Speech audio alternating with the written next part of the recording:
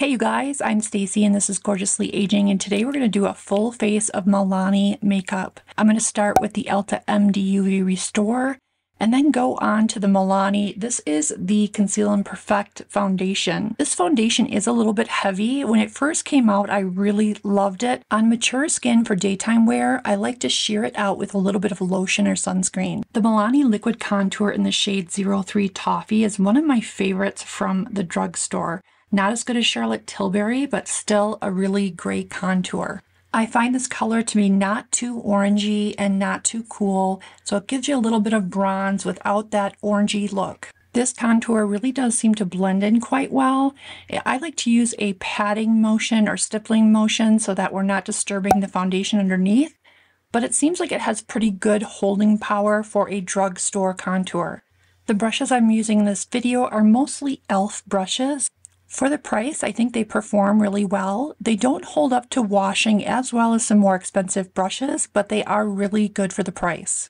The Milani Conceal and Perfect is a really good full coverage concealer. I can't say that it's my favorite, but it is very long wearing. So if you tend to be somebody that loses their concealer throughout the day, this one really does hold up well. This concealer actually works out really nicely as an eyeshadow primer. I love a dampened sponge for blending in concealer on the mature face. It helps to sheer everything out and blend it in nicely. As far as loose setting powders go, the Milani Make It Last really is a good long wearing setting powder. It's pretty finely milled and actually really makes the makeup last all day. I'm a really big fan of matte eyeshadows for the mature face just because shimmers can sometimes pick up imperfections, creasing textures, and wrinkles in the eyes. And this palette really is one that I enjoy. I do notice that some of the darker mattes don't blend as well as some of the high-end palettes that I have, but for the price point, I think this is a palette that's really versatile and has a lot of beautiful matte colors. The brush set that I'm using for the eyes here is the Morphe times Ariel collaboration, and this is actually one of my favorite brush sets as far as eyes go. It is really priced well for the quality of the brushes and has held up really nicely with washing. If you haven't tried putting a light colored matte eyeshadow in your inner corner, it really does brighten up and lift a tired eye. I also find using an eyeshadow on the lower lash line instead of a hard or heavy eyeliner is such a soft and pretty way to define the lower lash line.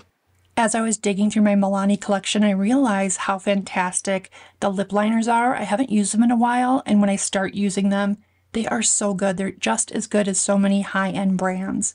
I'll list everything I'm using here today in the description box and the first comment below. If you haven't used this Milani Rose Balm, it is so nice on the lips. It reminds me of Laneige, but it does have a rosy smell.